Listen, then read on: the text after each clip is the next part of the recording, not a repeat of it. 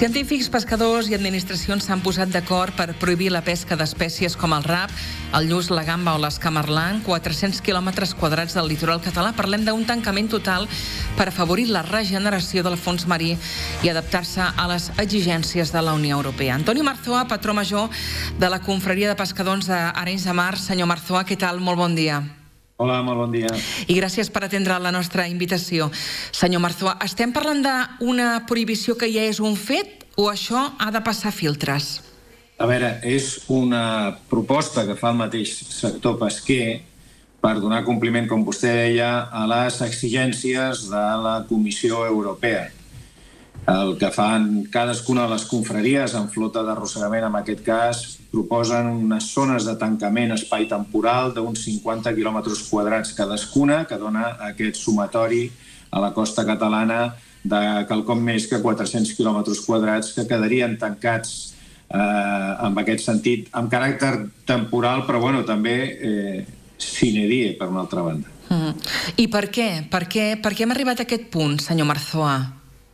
Eh, bueno, s'arriba a aquest punt jo li diria que per un desconeixement total sobre la que és la realitat del sector de la pesca costanera, la pesca mediterrània, per part de les institucions comunitàries.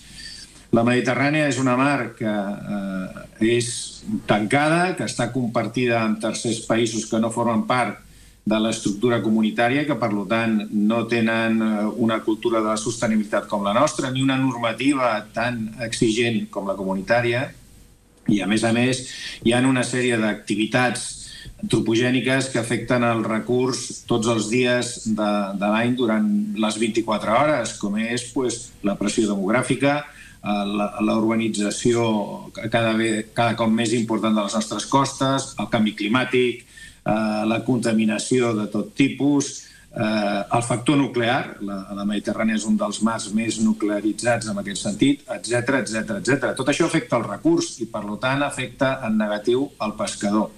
El que passa que el pescador sempre se l'ha fet servir com a boc expiatori, perquè no deixen de ser testimonis, guardians de, de què és el que passa a la mar, Eh, jo voldria recordar, fent un petit parèntesis, doncs, que el sector pesquer català, precisament des de l'any passat, i en col·laboració amb la nostra Direcció General de Pesca i Afers Marítims, ha engegat un projecte eh, anomenat Pesca Neta, que el que vol és donar a conèixer a l'opinió pública una tasca que des de fa decennis porten eh, cada dia els nostres pescadors endavant, que és la recollida de tot tipus de residus, escombraries, plàstics dels fons marins i que no tenen un origen a la, fe, a la pesca, sinó que nosaltres els retirem i això ve de les activitats de terra. No? Uh mhm. -huh. eh, el que vull donar a explicar una mica és que se'ns està aplicant una política d'una manera molt exigent, unilateral, arbitrària, i que el sector pesquer mai no ha deixat de ser precisament el promotor de mesures com les parades biològiques temporals,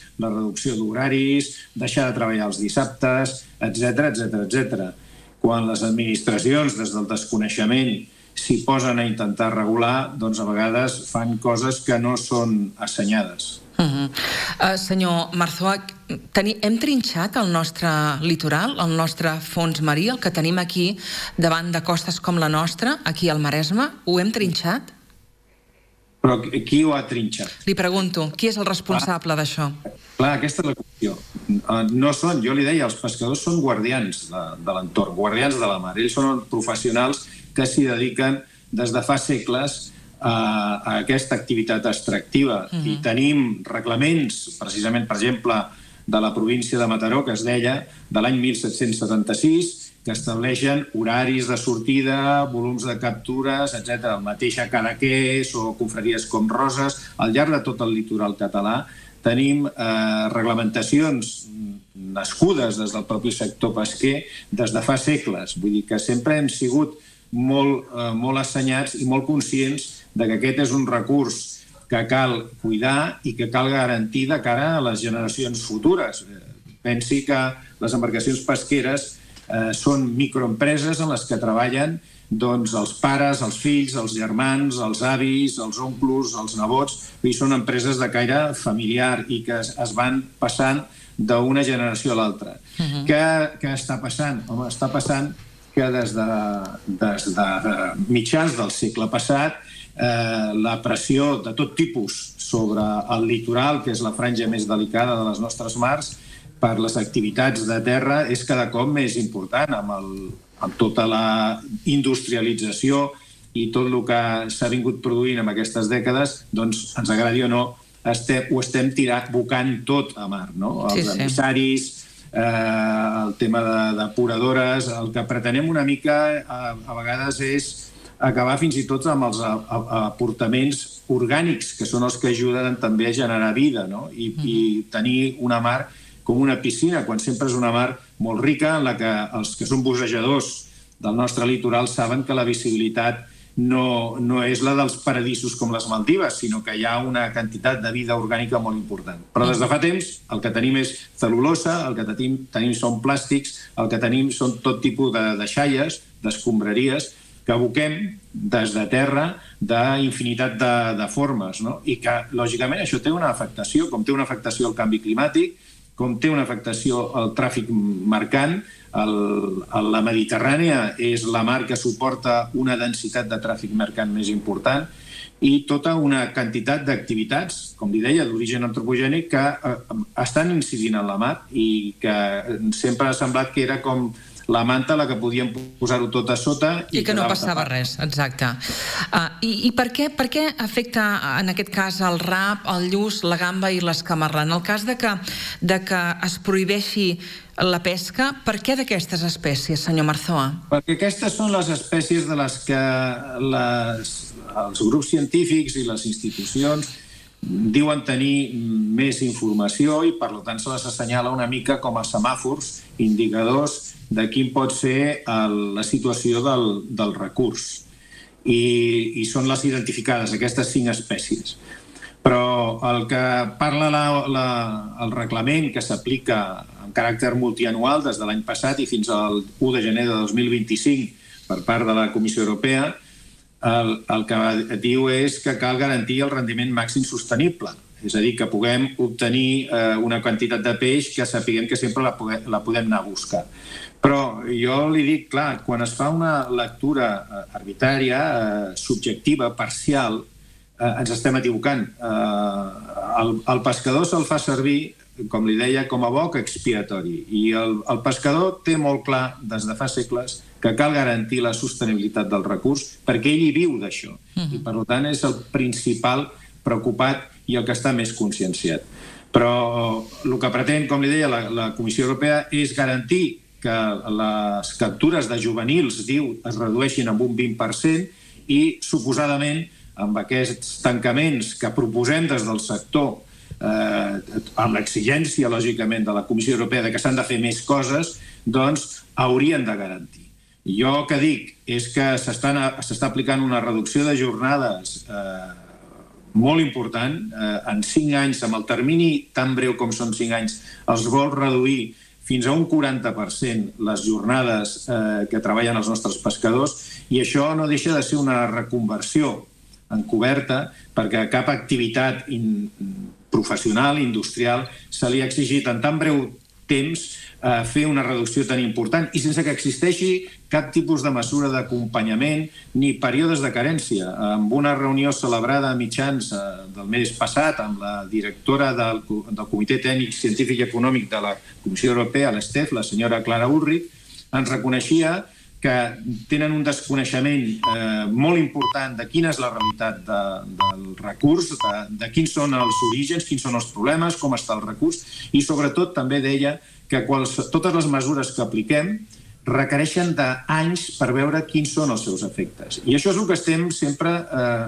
recordant, denunciant des del sector pesquer totes les polítiques, totes les uh, reduccions, tota la cura que hi posem per buscar aquesta sostenibilitat, té efectes eh, amb el temps dins del recurs que triguen en, en que es puguin eh, constatar. Però, en canvi, a nivell social i a nivell econòmic, que són els altres dos pilars dels que parla la política pesquera comuna, parla de, de la sostenibilitat ambiental, la sostenibilitat social i la sostenibilitat econòmica, aquests dos eh, pateixen els efectes de manera immediata. És a dir, si jo estic reduint les jornades a qualsevol activitat professional, això té una, una afectació d'avui per avui i, i Cal tenir-ho present i cal preveure mesures. El que no es pot és unilateralment eh, dedicar-se a reduir jornades i, a més a més, exigir mesures complementàries que el propi reglament estableix com a potestatives. Es podran establir mesures eh, de tipus tècnic que puguin acompanyar la reducció de jornades, però no és un mandat, no és imperatiu. En canvi, s'està fent.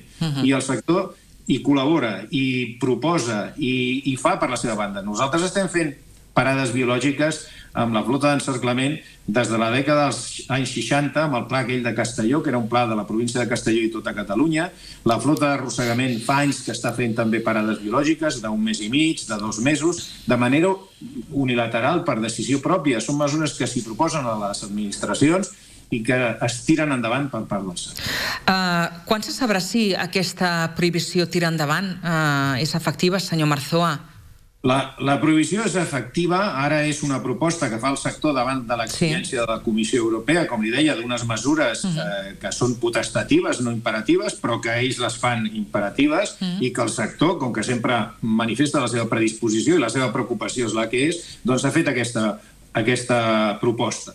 Però no podem deixar de dir que se'ns està escanyant i jo el que dic és, el que denuncio, el que s'està fent és una reconversió encoberta. L'administració de Brussel·les està mirant de dur a terme aquesta reconversió sense implicar-se en buscar aquelles mesures d'acompanyament que són les que sempre s'apliquen quan hi ha una reconversió. No? El que es pretén és que el sector pesquer aguanti tota la pressió a la seva esquena i se'ns està fent servir, com que no tenim pes social, eh, doncs se'ns fa servir com a boca expiatori per eh, una maniobra de màrqueting per tapar els excessos que estem cometent des d'altres activitats, altres realitats socials de terra, que són les que de veritat afecten el recurs mm. i que, per tant, afecten negativament el pescador.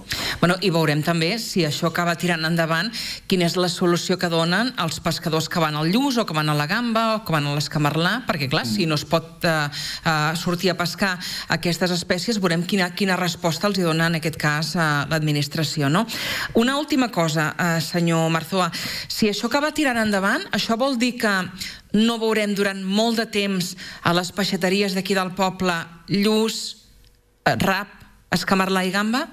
Sí que, sí que continuarem veient. Eh, jo li dic que, es, a veure, es continuarà capturant. El, el que fa la flota és capturar aquestes espècies en les talles que estan permeses, mm. i això és així de manera històrica. Jo li vull recordar que les confraries de pescadors, que són corporacions de dret públic, són preexistents a l'estat modern com el coneixem avui dia i tenen una estructura eh, paritària i democràtica des de l'edat mitjana i sempre hem aplic aplicat aquestes polítiques de cura per al, per al, al recurs. Per tant, es continuaran capturant. El que passarà és que cada vegada hi haurà menys d'origen, diem, en aquest cas, eh, català sí, o de la resta de, del Mediterrani de la, de la costa de l'Estat i, i vindrà el peix que ens hi cal, perquè nosaltres subministrem menys d'un 20% de la demanda que té Catalunya com a mercat de consum.